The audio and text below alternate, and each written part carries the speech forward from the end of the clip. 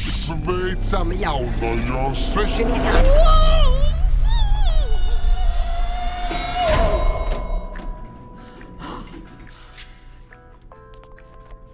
Labdien!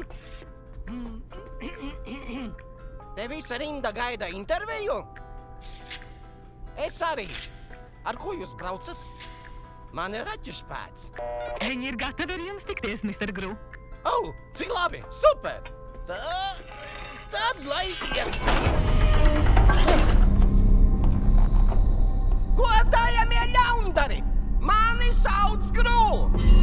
Man liekas, es kļūstu pārāk skaļš, lai gan attālums ar mums nebūtu neprasa tāpat celt balsi. Tu nopietni domā, ka sīks knauķis var kļūt par ļaundari? Jā, es esmu visai nejauks. Nenaidojieties ar mani! Pienāc, kad būsi paveicis ko tik ļaunu, lai mani pārliecinātu. Viņš paņēma akmeni! Tur ir tas sīkais akmenis! Go, go,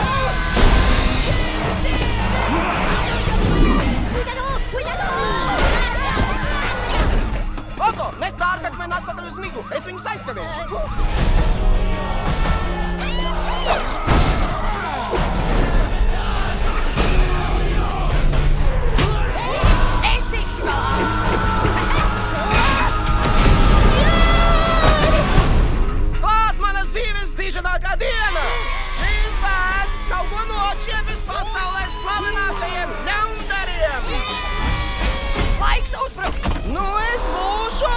Super ļaundari! Man tagad noderētu Oto! Kur ir Oto? Sì, sì, sì, sì, sì. Ogni posso paradin la pata. Tu gadījumā man te nedzen zosi? Oto, kur ir dārgakmens? Uh, bella storia. Porca le tondruf, quando le pari pari mene. Il maco, Baki Berger. Ah, ah, la papiparelle. Ah, oh no, la partida, la vola. Passa e la tu, tu le fotostopa. Ah, Mahiu, la ghetta. Ah, papagato, parenti. Ah. E là, la punella. Oh là là, le pelo bellissimo. La chiloto. Topissimo, no?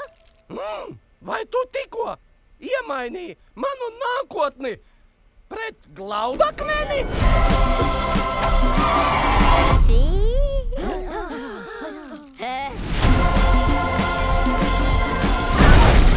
O, vai es jūs nobiedēju? Tā, kur ir grūti?